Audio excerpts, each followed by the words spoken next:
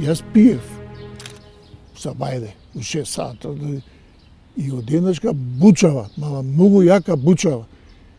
И се разбуди, викам, шо е ова? Го гледам телевизорот, вака игра. И одеднашка телевизорот скока на мене.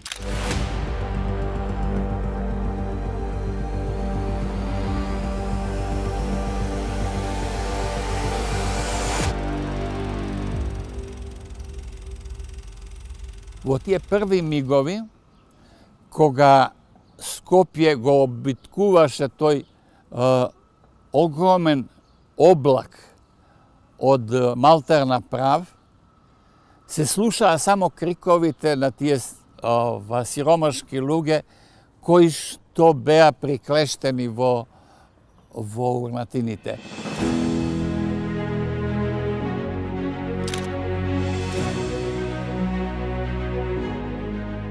Скопјани тогаш за прв пат во животот во живо ќе видат припадници од сите нации, вери и раси, и жолти, и црни, и бели, како заедно го расчистуваат градот. И го градат она што подоцна ќе се нарече град на солидарноста.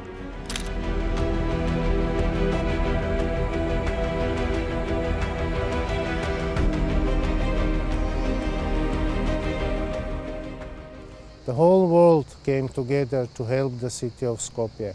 And made this effort and turned the city into city of solidarity. 60 years later, United Nations Development Programme in North Macedonia is proudly coordinating the efforts of 60th anniversary of the earthquake in the city of Skopje. And once again, calling for togetherness and solidarity, which seems to be necessary in today's world more than ever.